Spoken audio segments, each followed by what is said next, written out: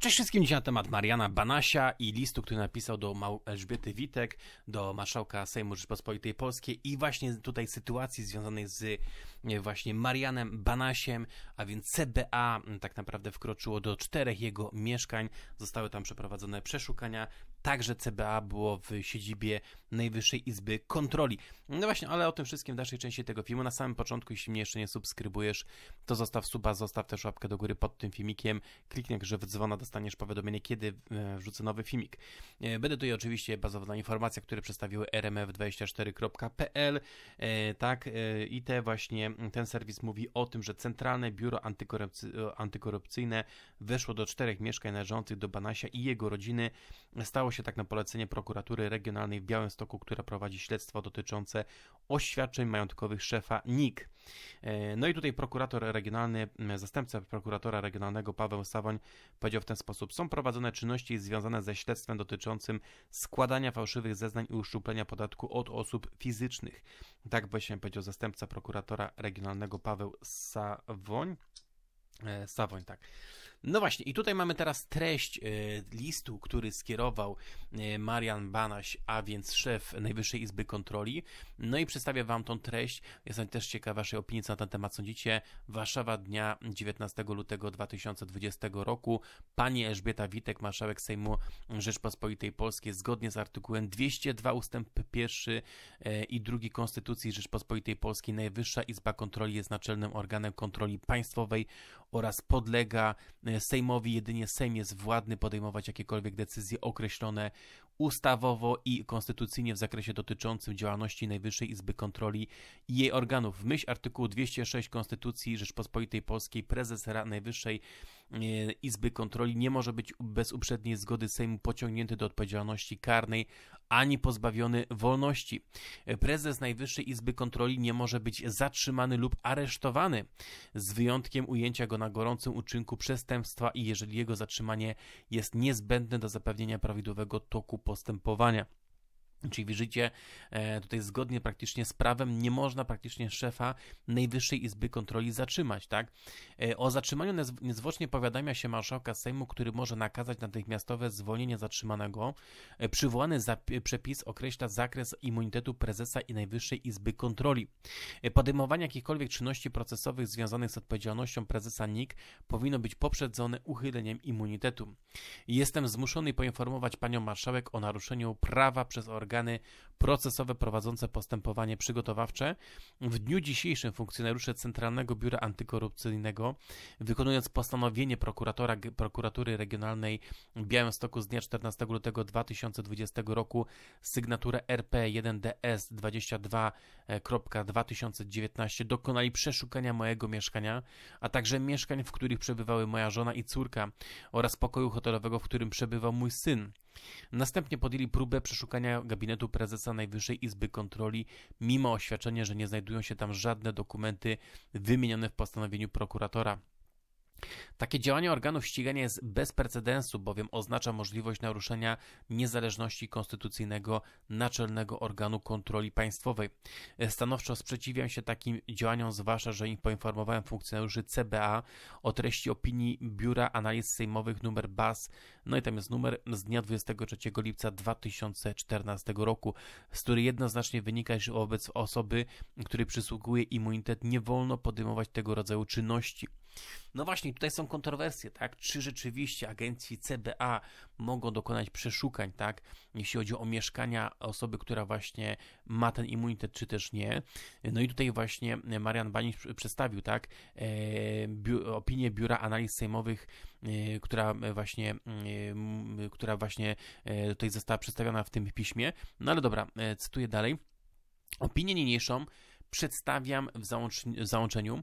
Zwracam się też do pani marszałek o podjęcie stosownych działań w tej sprawie. Zaznaczam, że nie jest moją intencją utrudniania postępowania. Wszystkie materiały dowodowe istotne z punktu widzenia śledztwa przekazałem organom ścigania.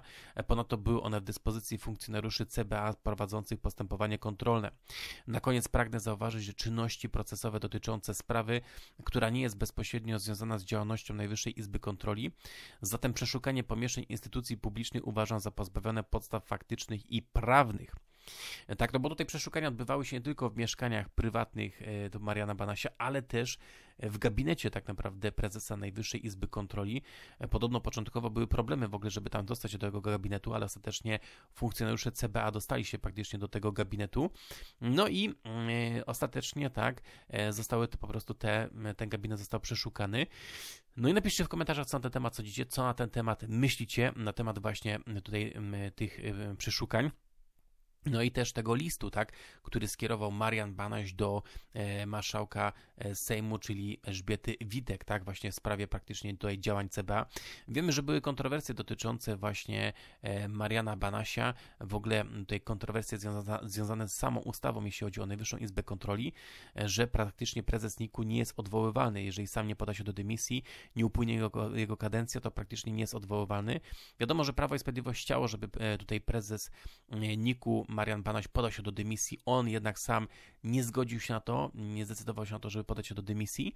E, tak, no i też przedstawiałem tę historię, tak, związaną praktycznie z Najwyższą Izbą Kontroli, że to jest, e, no, swego rodzaju właśnie dziwna sytuacja, czy też sytuacja patowa, że żadna instytucja praktycznie nie może odwołać tutaj prezesa NIK-u. E, w sensie po prostu nawet tu nie chodzi o bezpośrednio w stosunku do Mariana Basia, Banasia, tylko chodzi o samą sytuację, tak, po prostu, że człowiek, który praktycznie jest prezesem NIK-u, no to y, jedynie kadencja, która się zakończy, ewentualnie e, tutaj sytuacja, e, gdzie sam by zrezygnował, tak?